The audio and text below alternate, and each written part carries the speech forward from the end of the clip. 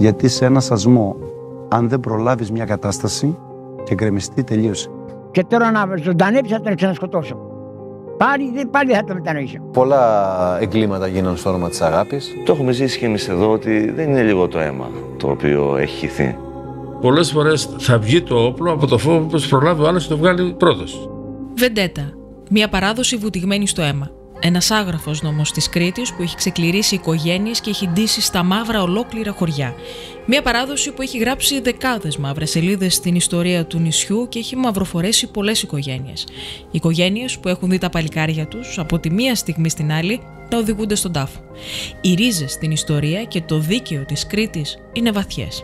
Όταν μιλάει το κακό ο άγραφος νόμος, το δίκαιο της οικογένειας, όπως ο Θήτης το μεταφράζει, τότε το χέρι οπλίζεται στο όνομα της δικαιοσύνης, της τιμής και της προσβολής που πρέπει να ξεπληθεί.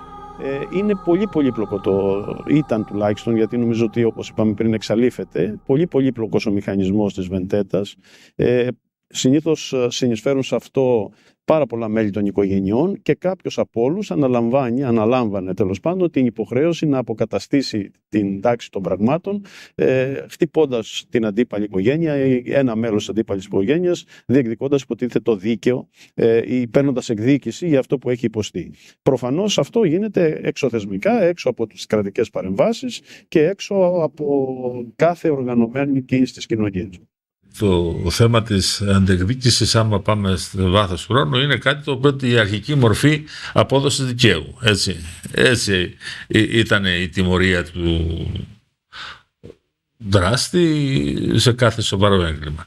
Ε, τώρα πολλά συμβάλλουν σε αυτό και η μόρφωση και η κοινωνική παιδεία και η κουλτούρα γενικότερα ε, ένας λόγος να σας πω η αγάπη στα όπλα.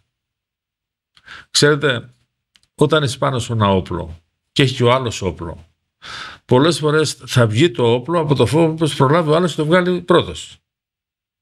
Γι' αυτό και πρέπει να σταματήσει η οπλοφορία και η οπλοκατοχή. Διότι είναι η αιτία να γίνει το πρώτο έγκλημα και από εκεί και πέρα όταν ανάψει φωτιά δύσκολα σβήνει. Όταν μιλούμε για βεντέτα, μιλούμε για μια κατάσταση η οποία αφορά όχι μόνο την Κρήτη, την ορεινή Κρήτη, κατά κύριο λόγο βεβαίως, αλλά τη Μάνη, την ορεινή Μάνη, την Κορσική, τη Σικελία, την Αλβανία. Γενικότερα για κοινωνίες οι οποίες είναι μικρές, προστατευμένες κοινωνίες, για κοινωνίες οι οποίες έχουν τους δικούς τους άγραφους κανόνες και νόμους.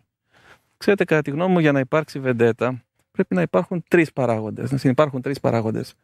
Ο πρώτος παράγοντας είναι μικρή πίστη στους θεσμούς. Αμφισβήτηση ουσιαστικά στους θεσμούς, αμφισβήτηση στη δικαστική εξουσία. Αμφισβήτηση η οποία δεν υπάρχει ξεκάθαρη. Δεν γίνεται ξεκάθαρη αυτή η αμφισβήτηση στη δικαστική εξουσία, αλλά ωστόσο ο άνθρωπος ο οποίος μπαίνει στη διαδικασία της αυτοδικίας, υπόψη ότι η αυτοδικία είναι ένα σημαντικό στοιχείο της βεντέτας, δεδομένου του ότι. Παίρνουν τον νόμο στα χέρια Ακριβώς, παίρνουν τον νόμο στα χέρια μου. Δεδομένου του ότι η βεντέτα δεν είναι αυτοδικία, γιατί η αυτοδικία, ξέρετε, γίνεται μία φορά και σταματάει. Από εκεί και πέρα, ωστόσο, η αυτοδικία γίνεται μία φορά. Η βεντέτα γίνεται πολλές φορέ και περνάει από τη μια γενιά δυστυχώς στην άλλη γενιά σε έναν αέναο κύκλο αίματος. Το δίκαιο της τοπικής κοινωνίας είναι πολλές φορές ισχυρό και ριζωμένο στη βαθύτερη τοπική αλλά και οικογενειακή παράδοση. Είναι το περιδικαίου αίσθημα τόσο ισχυρό που οποιαδήποτε ψύχρεμη φωνή σκοτεινιάζει. Ίσως είναι και η ευαισθησία την οποία έχει ο κριτικός απέναντι σε ορισμένα αδικήματα που μπορεί να αποτελέσουν τη βασική αιτία για να ξεκινήσει μια βεντέτα. Θα σας πω ως παράδειγμα, ε, ως παράδειγμα τα εγκλήματα περί τα ήθη. Ε, εδώ στον τόπο μας η βαρύτητα την οποία αποδίδει σε ένα τέτοιο έγκλημα κοινωνία είναι πάρα πολύ σοβαρή. Έτσι. Είτε λέγεται βιασμός, είτε λέγεται αποπλάνησης ή έστω και μοιχεία του παλιού καιρού που δεν είναι σήμερα ποινικό αδίκημα. Γι' αυτά δεν συγχωρεί η κοινωνία μας. Είναι πολύ σκληρή απέναντι σε αυτά τα δικήματα. Σε αντίθεση με άλλες περιοχές της χώρας μας και έξω στο εξωτερικό ενδεχομένως, που αυτού του είδους τα δικήματα δεν έχουν την βαρύτητα στην κοινωνία που έχουν στη δική μας κοινωνία. Και γι' αυτό και τα περισσότερα τουλάχιστον, ε, οι περισσότερες βεντέτες που ξέρω εγώ ως αρχικό αίτιο είχαν ε, ένα τέτοιο αδίκημα. Γιατί όμως και πώς ξεκινάει μια βεντέτα; Ο κύκλος του αίματος ανοίγει από ασήμαντες πολλές φορές αφορμές που με το πέρασμα του χρόνου ξεχνιούνται. Άλλες φορές, εξίσου ασήμαντοι λόγοι, οι κτηματικές διαφορές ή ακόμη και οι λόγοι τιμής. Ακόμα και η αγάπη που μπορεί να ξεκινήσει ή και να λήξει μια βεντέτα. Η μία οικογένεια σκοτώνει μέλη της άλλης σε μικρή χρονικό διάστημα. Είναι γνωστή για παράδειγμα ιστορικά πια η βεντέτα, η περιβόητη πεντάριδων και σαρτζετάκιδων, ε, όπου φτάσαμε στο σημείο κάποια στιγμή να μην θυμούνται ακριβώς πώς ξεκίνησε. Ε, είναι κυρίως το λεγόμενο αίσθημα τιμής ε, απέναντι στην γενικότερη οικογένεια, στο σόι που θα το ονομάζαμε κριτικά ε, και η υποχρέωση που έχει το μέλος της οικογένειας να αποκαταστήσει το δίκαιο ε, σε αυτό που έχει υποστεί από την άλλη οικογένεια. Η βεντέτα των Σαρτζέτιδων ή Σαρτζετάκιδων εναντίον των Πεντάριδων ή Πενταράκιδων έχει καταγραφεί στην ιστορία της Κρήτης ως η μεγαλύτερη βεντέτα του νησιού με τις αναφορές να κάνουν λόγο ακόμη και για 140 ψυχές που έχασαν τη ζωή τους στο βωμό της βεντέτας αυτής. Όπως εξηγεί ο καθηγητής εγκληματολογίας Γιώργος Παπακοσταντής, η πραγματική αιτία της έχει χαθεί στα βάθη του χρόνου, ενώ υπάρχουν καταγραφές που αποδίδουν την έναρξη της βεντέτας σε μία σχέση ή και μία εγκυμοσύνη. Η πραγματική αφορμή έχει χαθεί, μαζί με τους δεκάδες νεκρούς οι μεγάλες βεντέτες, γιατί φρόντισα και εγώ επειδή με διέφερε το θέμα, ε, έχοντας σχέσεις με, ποιος πολιτικός με την κοινωνία, ε, είχαν ασήμαντο, αιτία ασήμαντον αφορμή. Ο Βαγγέλης Πεντάρης, που άφησε την τελευταία του πνοή τον Οκτώβριο του 2023, για πολλούς ήταν ο άνθρωπος που έβαλε τέλος στη Βεντέτα το 1985, δίνοντας ψήφο στον Χρήστο Σαρτζετάκη για πρόεδρο της Δημοκρατίας μετά από πρόταση του Ανδρέα Παπανδρέου. Ο Χρήστο Σαρτζετάκη εκλέχτηκε πρόεδρος της Δημοκρατίας στην τρίτη ψηφοφορία με την ψήφο του Πεντάρη να βάζει τέλος στη Βεντέτα. Σύμφωνα μάλιστα με τις αναφορές, η Βεντέτα αυτή είχε στοιχήσει τη ζωή και στον 14χρονο τότε αδερφό του Ανδρέα. Ένα βασικό στοιχείο που υπάρχει ε, είναι ο θυμός, ώστε να μπορέσεις να αποστασιοποιηθεί από αυτό το πρόσωπο. Αυτός ο θυμός λοιπόν τις περισσότερες φορές έχει δύο διεξόδους. Είτε εσωστρέφεται, είτε σε μια δεύτερη εκδοχή από εκεί πέρα να μπορέσουμε να βγάλουμε το θυμό μας προς κάποιο πρόσωπο το οποίο κάποιο πρόσωπο είναι του άμεσου οικογενειακού περιβάλλοντος ε, αυτού ο οποίος προξένησε το κακό και άρα λοιπόν με κάποιο τρόπο μπορούμε και βγάζουμε το, το θυμό μας και στη συνέχεια ηρεμούμε, λειτουργούμε καλύτερα. Ο ρόλος της οικογένειας είναι ισχυρός. Το χρέος της προστασίας της οικογενειακής τιμής επιβάλλει συγκεκριμένη συμπεριφορά. Είτε αποτρεπτικά, είτε παρακινητικά, η λειτουργία της οικογένειας παίζει σημαντικό ρόλο. Ο θάνατος ενός ε, νέου ανθρώπου είναι μια πληγή η οποία έχει συνέπειες ιδιαίτερα σοβαρές και για την οικογένεια και για την κοινωνία. Ε, εδώ για τα τροχαία τα οποία έχουμε και έχουμε θανάτους λέμε για την αιμορραγία η οποία ε, είναι στην οικονομία, στην κοινωνία γενικότερα, στις οικογένειες τις οποίες βυθίζεις τη θλίψη και αυτά. Ε, οι συνέπειες είναι πάρα πολύ σοβαρές, αναφεσβήτα. Και το σημαντικότερο είναι ότι γεμίζει ξανά από την αρχή το, ο, ο κουβάς της οργής που θα φτάσουν πλέον στην εκδίκηση και παραπέρα και δεν σταματάει η δουλειά αυτή.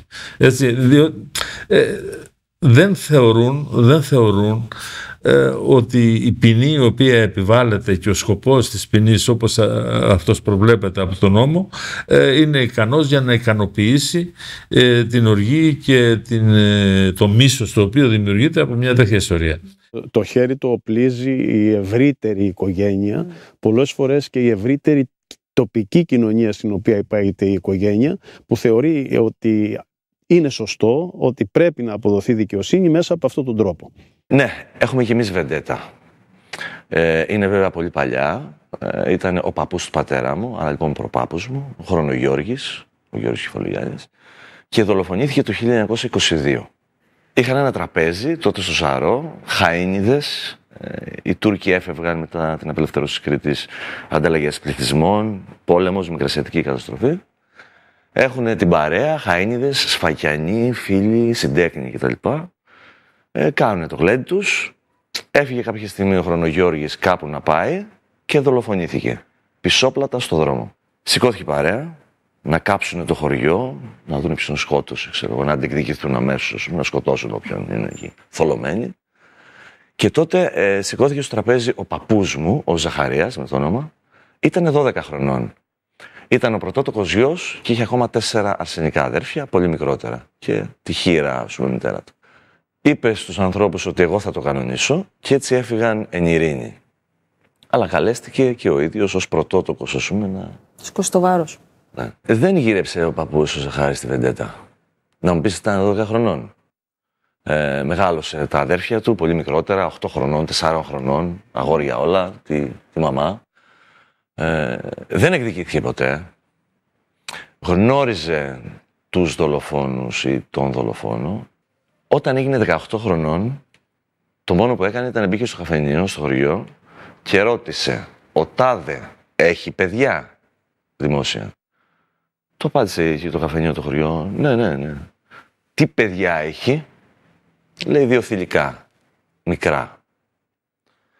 Και με αυτό ουσιαστικά έκανε τη δήλωση ότι εγώ γνωρίζω ποιος είναι. Άρα λοιπόν είμαι 18 χρονών πλέον θα μπορούσα να αντεκδικηθώ, να τον σκοτώσω δηλαδή. Αλλά έχει όμως ανήλικα μικρά θηλυκά παιδιά.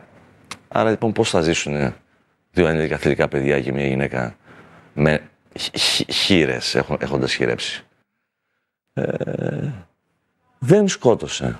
Δεν έκανε βεντέτα. Ε, προχώρησε τη ζωή του ταπεινά. Κυριάρχησε το, το δίκαιο το ότι υπάρχουν κάποια παιδιά που πρέπει να μεγαλώσουν με τον πατέρα τους. Ας μην το στερηθούν αυτά. Δεν το προχώρησε. Δεν... Βέβαια, θέλω να πιστεύω ότι λυτρώθηκε, γιατί ήταν αυτή ήταν από τις τελευταίες κουβέντες που είχαμε κάνει, ήταν μεγάλος, πέθανε 90 χρονών. Ε, διότι όταν πέθαινε ο δολοφόνος, είχε εφηματίωση εκείνες τις εποχές και στα ε, τελευταία του τον κάλεσε και το αποδέχτηκε. Η μητέρα, ο πατέρας ενδεχομένως του θήτη, εφόσον υπάρχουν, ή το, το ευρύτερο οικογενειακό περιβάλλον παίζει καθοριστικό ρόλο; Ναι, μπορεί να παίξει καθοριστικότατο ρόλο, είτε από την πλευρά της ειρήνευσης, είτε όταν συνεχίζεται η βεντέτα, συνήθως ε, εκ του αποτελέσματος παίζει σημαντικό ρόλο στην πίεση στο να αποδοθεί δικαιοσύνη κατά τα δικά τους κριτήρια. Ναι. Δηλαδή, πολλές φορές βλέπουμε ε, ότι και οι γυναίκες, η μητέρα ε, ενός δράστη τον έχει πιέσει για να πάρει ε, πίσω ας πούμε, το αίμα του αδερφού του που έχει ενδεχομένως εκτελεστεί από την άλλη οικογένεια. Ε, έχει γράψει πάρα πολύ ωραία για τη Βεντέτα ο Παντελής Περβελάκης στο βιβλίο του «Ο ήλιος του θανάτου» όπου ακριβώς περιγράφεται πως μία θεία ενός υποψήφιου δράστη Βεντέτας επηρεάζει τον δράστη για να μπορέσει να πάρει πίσω το δίκαιο του, το αίμα του πίσω από μια παλιότερη υπόθεση. Τα λόγια του πατέρα που ένιωσε τον πόνο από το χαμό του παιδιού του στο Μεδούλη ακόμα και σήμερα συγκινούν. Ο Γιάννης Παπαδόσυφος, ο άνθρωπος που αφαίρεσε τη ζωή του φωνιά του γιου του μέσα στις δικαστικές αίθουσες, έχει φύγει από τη ζωή. Οι καλά γνωρίζονται ωστόσο και όσοι έζησαν την ιστορία από κοντά ξέρουν. Και σήμερα λένε το ίδιο θα έκανε. Ήταν Αύγουστος του 1983 όταν σε κεντρική καφετέρια του Ρεθύμνου ο Γιάννης Βενιεράκης αφαιρούσε τη ζωή από τον 27χρονο Μανώλη Παπαδόσυφο τι όπλησε το χέρι του φωνιά; Είχε προηγηθεί μια έντονη λογομαχία και αναφορές κάνουν λόγο για μια γυναίκα που στάθηκε αφορμή να γίνει το κακό. Από εκείνη τη στιγμή που έπεσε νεκρός ο Μανώλης Παπαδόσυφο, ο πατέρας του Γιάννης είχε μία και μοναδική σκέψη. Την εκτέλεση του φωνιά, όπως χαρακτηριστικά έλεγε το 2000 στην Κρήτη TV. ίδια ώρα, αυτή τη ίδια στιγμή. Τι κάνατε από την ίδια στιγμή; Ε, σκέφτομαι να τον συναντήσω να τον εκτελέσω. Δεν μπορούσα να τον βρω. Όξω εκεί στο δικαστήριο που τον ήβρικα, στην Περά και κατάφερα και μπήκα γιατί το είχα πάντα μέρα νύχτα το σκεφτόμουν. Θα θυμίσω το κλασικό το οποίο υπήρξε στη βεντέτα του Παπαδόσυφου κάποια στιγμή πριν από πολλά πολλά χρόνια, όταν ο Παπαδόσυφος μέσα στη δικαστική, εξουσία, ε, στη δικαστική αίθουσα ε, σκότωσε αυτόν ο οποίος είχε σκοτώσει το γιο του και αυτό το οποίο είπε χαρακτηριστικά εκείνη τη στιγμή είναι ότι ηρέμησε τώρα πλέον. Άρα λοιπόν ο θυμός, αυτός ο θυμός ο οποίος υπήρχε μέσα του, σε συνδυασμό όπως λέγαμε προηγουμένως και με τη μικρή πίστη στη δικαστική εξουσία, η οποία δεν πιστεύω ότι με κάποιο τρόπο θα αποδώσει ε, αυτά που πρέπει να αποδώσει. Άρα λοιπόν αυτός ο θυμός βρίσκει διέξοδο σε μια τέτοια κατάσταση. Πέντε χρόνια μετά τη δολοφονία του Μανώλη Παπαδόσυφου του 1988, μέσα στην αίθουσα του εφετείου στον Πειραιά, όπου εκδικαζόταν η υπόθεση, ο Γιάννης Παπαδόσυφο κάνει πράξη αυτό που σκεφτόταν κάθε μέρα από τη στιγμή που σκοτώθηκε ο γιος του. Βάζει τέλος στη ζωή του Γιάννη Βενιεράκη μέσα στη δικαστική αίθουσα. Ο ίδιος ποτέ δεν αποκάλυψε πώς κατάφερε να βάλει στο δικαστήριο το περίστροφο. Ωστόσο, πολλοί υποστηρίζουν από τότε πώς κατάφερε να το κρύψει μέσα στη γενιάδα του. Καθόμουν και περίμενα τη στιγμή αυτή να βρω ευκαιρία να τον σκοτώσω. Αλλά ε, προχώρησε το δικαστήριο και την, την ώρα είπα ότι τώρα είναι η ώρα του. Ναι, και σηκώθηκα από εκεί που καθόμουν και πετάχτηκα και τον σκότωσα εκεί που ήταν. Εκδικήθηκε για το θάνατο του γιού του και, έγινε, και αυτό έδειξε ότι η κριτική κοινωνία λίγο πολύ την έκανε ανεκτή αυτή την πράξη έως και την επιδοκίμαση. Ακριβώς γιατί υπήρχαν κατάλοιπα ότι τελικά η απόδοση της δικαιοσύνης γίνεται με τον τρόπο που εμείς θέλουμε και όχι με τον τρόπο που θέλει το κράτος. Οι εφημερίδες της εποχής καλύπτουν τα συγκλονιστικά γεγονότα και αφήνουν ιστορικές μαρτυρίες για το τι συνέβη. 22 Δεκεμβρίου του 1988, μία ημέρα μετά τη δολοφονία του Γιάννη Βενιαράκη από τον Γιάννη Παπαδόσυφο, η εφημερίδα Αλλαγή φιλοξενεί τα πρώτα λόγια του πατέρα. Τον εκτέλεσα όπως αυτός εκτέλεσε το γιο μου. Δεν μετανοώ για ότι έκανα, πήρα πίσω το αίμα του παιδιού μου. Είχα αρρωστήσει τόσα χρόνια και τώρα έγινα πάλι καλά. Είμαι χαρούμενος, λέει με αφοπλιστική ειλικρίνεια. Πήρα την ανακούφισή μου. Πήρα τον αέρα μου. Ο Νάσος Πουλακίδας, που υπογράφει το ρεπορτάζ της εποχής, τον ρωτάει: Πότε σχεδιάσατε το φωνικό, Τώρα το σχεδίασα. Είδα ότι θα τον αθώωναν και του έκανα εγώ την καταδίκη. Είχα πέντε μερόνυχτα να φάω και να κοιμηθώ. Είπα στους δικαστές να με δικάσουν σήμερα, αλλά δεν το κάνουν. Δεν πειράζει.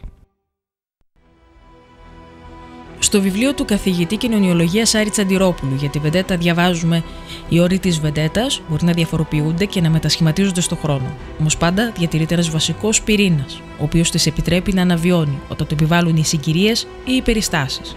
Η Βεντέτα δεν αποτελεί απλά ένα συγκυριακό γεγονός. Περισσότερο συνιστά ένα τρόπο σκέψης και ύπαρξης αυτών των κοινωνιών. Σήμερα, βεντέτες με την έννοια την παλιά που ξέραμε, που πράγματι ξεσπληριζόντουσαν ολόκληρες οικογένειες και περιοχές, όχι μόνο χωριά, δεν υπάρχουν. Εντάξει. Το φαινόμενο, το έθιμο, το κακό αυτό έθιμο, ας το πούμε έτσι, τίνει σιγά σιγά να σβήσει. Δεν έχει πλέον ούτε την ένταση ούτε την έκταση που είχε κάποτε όπως ε, ένα άλλο φαινόμενο της ε, προκατοχής και οπλοφορίας και ασκόπων πυροβολισμό σε γάμους και σε ε, χαροκοπιές σιγά σιγά πάει να σβήσει. Γιατί, όχι διότι, ε, και αυτό είναι κάτι που θέλω να το τονίσω, όχι διότι ο νόμος έγινε αυστηρότερος ή η έλεγχη έγινε εντονότερη και εξ αυτού του λόγου ε, έχουν περιοριστεί αυτά τα φαινόμενα. Η κοινωνία δεν επιβάλλει. Η ίδια η κοινωνία η οποία τοποθετείται πολύ αρνητικά ενώ μπροστά σε αυτά τα πράγματα, επιβάλλει αυτό που είπα προηγουμένως σχετικά με την οπλοφορία, οπλοκατοχή και άσκοπους πυροβολισμούς να έχουμε το φαινόμενο σιγά σιγά να την να περιοριστεί δραστικότατα. Τώρα όσον αφορά τις βεντέτες θα έλεγα πως ε, στην εποχή μας τουλάχιστον τα χρόνια που εγώ δικηγορώ ε, και στην Κρήτη δεν έχουμε όπως είπα προηγουμένως τις βεντέτες του παλιού καιρού που ε, είχαμε δεκάδες θύματα πολλές φορές από την μια μεριά και από την άλλη.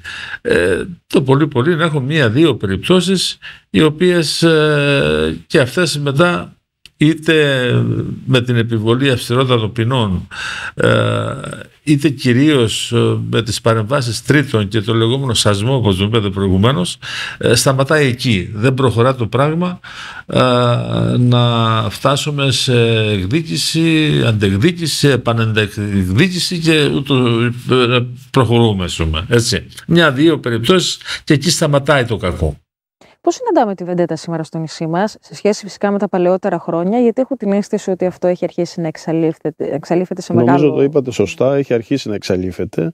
Μπορώ να πω ότι έχει πέσει πια σε αυτό που λέμε στην εγκληματολογία, στην ε, διαδικασία της συγκρουσιακής που σημαίνει ότι όπου υπάρχουν κατά κάποιο τρόπο αντιδικίες, ε, κάποιος που πιστεύει ότι έχει ένα δικαίωμα να κάνει κάτι σε κάποιον άλλον ε, ενεργεί, ο άλλος ανταποδίδει και αν δεν υπάρξει ένα ειρηνοποιό στοιχείο μπορεί να φτάσουμε σε συγκρούσεις, αυτό που λέμε συνήθως για κτηματικές διαφορές ε, ή τέλος πάντων για κάποιες διαφορές που έχουν κάποιοι και φτάνουν μέχρι και το φόνο. Ε, το να εξακολουθήσει όμως υπομορφή βεντέτας ε, δεν νομίζω ότι τώρα τελευταία έχουμε τέτοια περιστατικά. Κακά τα ψέματα, υπήρχε ενοχή μέχρι πρώτη κάποιος το να μπορέσει να μιλήσει απέναντι σε μια τέτοια κατάσταση Φόβος και ενοχή είναι δύο στοιχεία τα οποία χαρακτηρίζουν ανθρώπους. Η ενοχή κυρίως αυτούς οι οποίοι συνενούν σε μια τέτοια κατάσταση και φόβος αυτούς που δεν συνενούν σε μια τέτοια κατάσταση. Αυτό το οποίο κάναμε μέχρι πρώτη τουλάχιστον ήταν να μπορέσουμε να μιλήσουμε για τη Βεντέτα, όπως είπα και προηγουμένως, μέσα από τη σκοπτική της εκδοχή. Ε, Μακρικοστέη και Κοντογιώργιδες να θυμίσω για παράδειγμα ή αντίστοιχα Φουρτουνάκηδες και Βροντάκηδες αντίστοιχα το έργο της ε, Αλίκης Βουγιουκλάκη και του Παμα Μιχαήλ το οποίο ε, επίσης αντίστοιχα μιλούσε για μια σκοπτική εκδοχή της Βεντέτας. Ίσως δεν τολμούσαμε να μιλήσουμε. Νομίζω ότι το ότι πλέον μιλούμε για τη Βεντέτα σε μια πιο σοβαρή εκδοχή σε μια πιο ξεκάθαρη εκδοχή και θέλετε, αν θέλετε σε κάποια εκδοχή που γίνεται νήξη σε κάποιες γνωστές Βεντέτες οι οποίες υπήρχαν γιατί και η συγκεκριμένο, το, το συγκεκριμένο τηλεοπτικό έργο κάνει νήξη σε κάποιε γνωστές βεντέτες οι οποίες εκτελήθηκαν στην Κρήτη. Νομίζω ότι είναι μια κατάκτηση της σημερινής εποχής. Άρα, ναι, έχουμε τη δυνατότητα πλέον σε μια καλύτερη εκδοχή της πραγματικότητας να μιλούμε πιο ξεκάθαρα.